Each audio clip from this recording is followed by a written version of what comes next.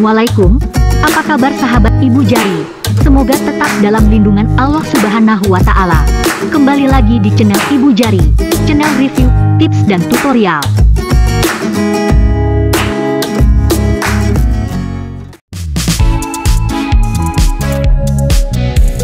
Wisata kuliner Bogor kiranya sudah menjadi hal wajib bagi setiap orang yang berkunjung ke Bogor. Tidak akan lengkap rasanya ketika mengunjungi suatu tempat tanpa mencicipi keunikan dan kuliner khas daerah tersebut. Tidak berbeda dengan tempat lainnya, Bogor juga mempunyai segudang pesona. Terlebih lagi mengenai wisata kuliner. Kali ini Ibu Jari akan mengulas sedikit keunikan wisata kuliner yang berada di kota Bogor, Jawa Barat. Sebelum menonton video ini, jangan lupa dukung channel ini dengan cara subscribe dan nyalakan loncengnya, agar tidak ketinggalan dengan video-video menarik lainnya.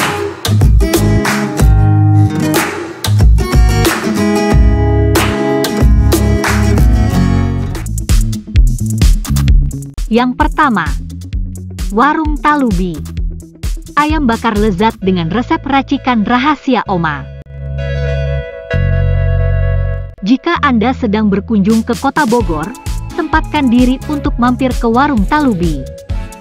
Sebuah rumah makan yang terletak di Jalan Surya Kencana nomor 278, lokasinya pas di seberang Gang Out. Restoran ini mengusung tema yang unik yaitu resep masakan Oma. Sehingga setiap menu yang ada di warung Talubi akan membawa Anda menjelajahi ruang nostalgia dengan racikan resep khas dari Oma tersayang. Jika ayam bakar pada umumnya hanya dibakar dengan olesan bumbu kecap. Di warung Talubi ayam dibakar dengan racikan bumbu terasi khas dari kampung Oma. Sehingga rasanya juga khas lezat dan beda dari ayam bakar pada umumnya. Yang kedua, pizza kayu bakar kedai kita. Bagi Anda yang sedang mencari kuliner Bogor malam hari, tampaknya hal ini akan menjadi pilihan cocok bagi Anda.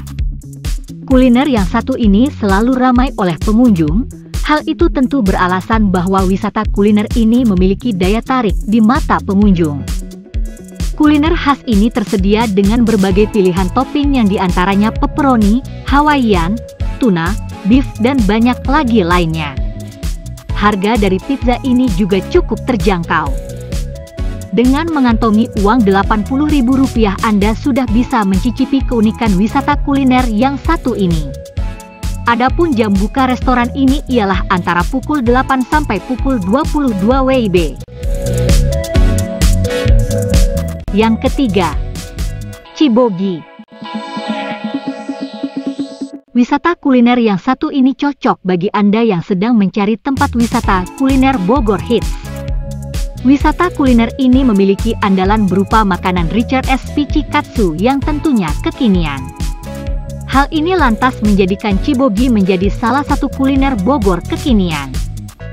Konsep yang dimiliki oleh wisata kuliner yang satu ini berupa eat, shop and play. Rasa yang ditawarkan juga sangat menarik. Sangat cocok bagi Anda yang suka dengan jenis makanan bercita rasa crispy renyah dan juga pedas. Untuk lokasi sendiri berasa di pintu keluar tol Gadok.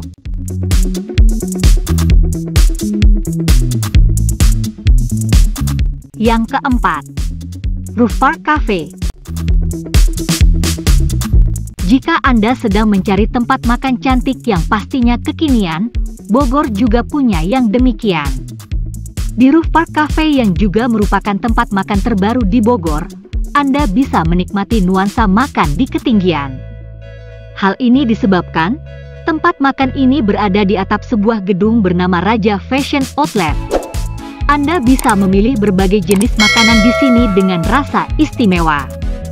Untuk itu, bisa dikatakan bahwa destinasi yang satu ini merupakan kuliner enak Bogor.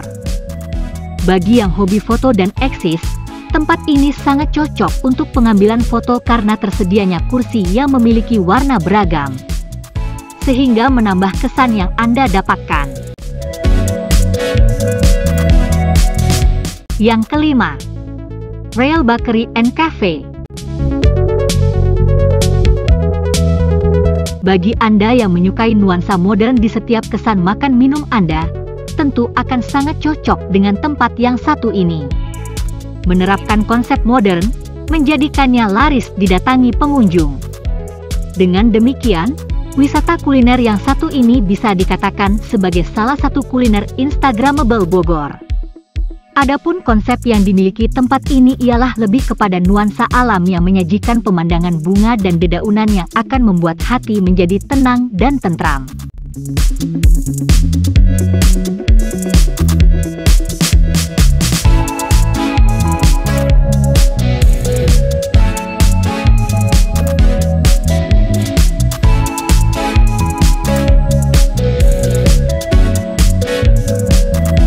Yang keenam, Soto Mie Bogor.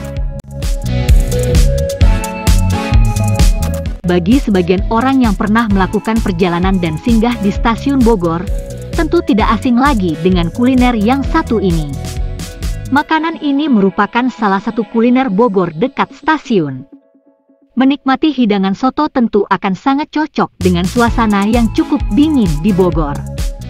Hal ini bisa menjadi penambah alasan Anda untuk segera berkunjung ke salah satu destinasi wisata kuliner ini dan merasakan enaknya soto yang dimiliki Bogor ini.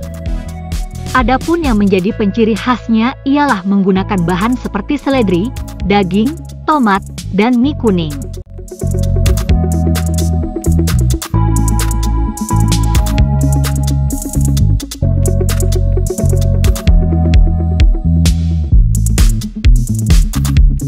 Yang ketujuh, mie janda. Mendengar namanya tentu sangat unik. Satu hal yang sering didengar sebagai status seseorang dalam kehidupan sosial. Namun wisata kuliner yang satu ini akan membuat lidah Anda bermanja dengan rasa yang ditawarkan. Dengan berkunjung ke tempat penjualan mie ini, maka Anda sudah bisa dikatakan berkunjung ke salah satu tempat makan enak di Bogor. Ada satu hal yang membuat mie ini unik. Hal ini berkaitan dengan kata janda di belakang nama mie yang ternyata singkatan dari Jawa Sunda.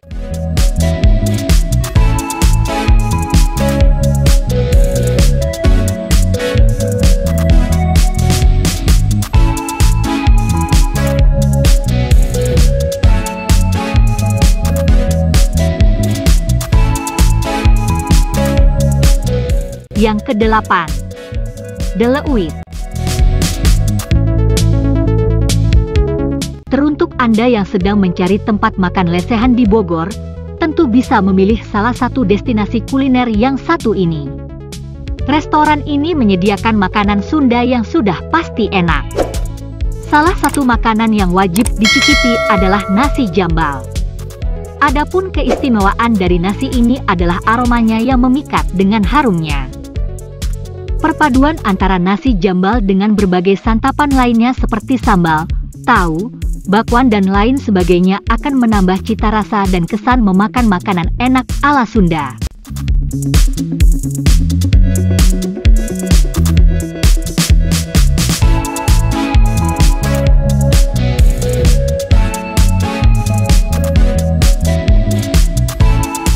Yang kesembilan, Asinan Bogor. Mengunjungi Bogor tidak akan lengkap tanpa mengetahui dan mencicipi kuliner khas Bogor. Untuk itu, Anda bisa memilih salah satu asinan yang ada di Bogor ini sebagai santapan Anda dalam menjajal wisata kuliner yang ada di Bogor. Makanan ini juga cukup tersohor di Bogor. Makanan ini cocok untuk cemilan dalam melengkapi kesukaan Anda dalam cicip-mencicip makanan. Adapun bahan dalam pembuatan asinan ini terdiri dari campuran sayur segar dan buah yang mais muda, serta tidak lupa menggunakan cuka asam.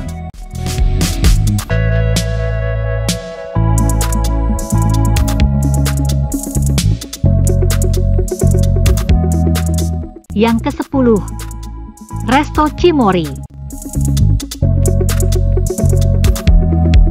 Untuk Anda yang punya pasangan, tentu akan mencari tempat yang romantis. Terlebih lagi, jika ingin mendapatkan dua momen sekaligus, yaitu romantis sekaligus mencicipi kuliner yang enak di lidah.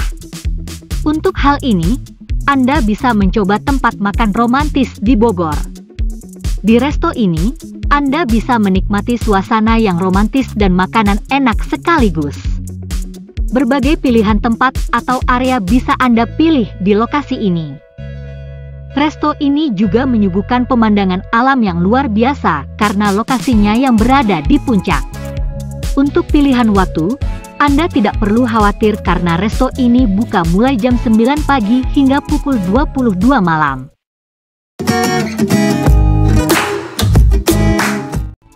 Nah, itulah 10 destinasi wisata kuliner Bogor yang wajib dicoba.